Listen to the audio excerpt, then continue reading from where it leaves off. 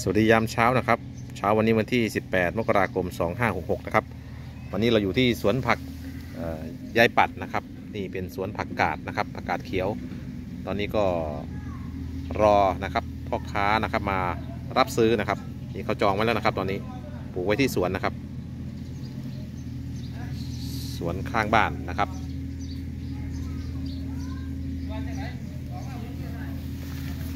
นี่ครับ มาอัปเดตสวนข้างบ้านผมให้กับท่านผู้ชมได้รับชมกันนะครับ วันนี้ศรีสะเกดวันนี้อากาศครึ้มๆช่วงเช้านะครับ แล้วก็หนาวมาอีกรอบนะครับนี่ครับผักงามๆนะครับอืมมากับเฟื่องฟ้าชาแนลเจ้าเก่าเจ้าเดิมเจ้าประจำนะครับผักนมผักงามๆ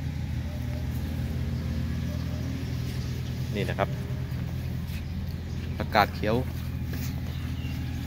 เขาเหมาตรงนี้ใช่ไหมอ๋อเขาจะเอาไปขายที่ตลาด อ๋อ งานบุญที่ไหน อ๋อนึกว่าพ่อค้าเอาเขาจะเอาไปเลี้ยงในงานงานบุญอัฐานะครับที่ในหมู่บ้านนะครับเขาจะเอาไว้ดองทำต้มจืดนะครับนี่โอ้งามนะครับนี่ สวย นี่เป็นหอมหอมแดงนะครับ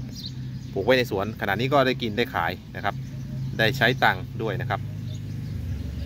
มันสะดวกสบายเพราะว่าใกล้บ้านดูแลรักษาก็ง่ายนะครับ เราตื่นขึ้นมาแล้วก็ทำเลยไม่เหมือนผม ต้องออกไปนาอีก 800 เมตรนะครับ ต้องใช้น้ำมันใช้แรงอีกกว่าจะไปถึงนาก็กินเวลาเข้าไปเกือบ 20 นาที ถ้าปั่นจักรยานถ้าเดินนะครับ ถ้าขับรถไปก็ประมาณ 7-8 นาทีนะครับ อันนี้มันโรงงานได้เลยตรงหน้างานตรงนี้นะครับ ก็ถือว่ามันสะดวกสบายในการทำสวนเนี่ย โชคดีที่ใครมีสวนในบ้านแบบนี้มันมันมีโอกาสทำอย่างอื่นได้เยอะนะครับนี่ดอกมะม่วงกำลังบานนะครับ หลังจากฝนตกมาสี่ห้าวันที่ผ่านมานะครับ ดอกมะม่วงก็เริ่ม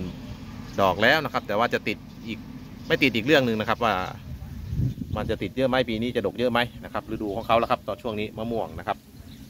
งามๆอะพาท่านผู้ชมมา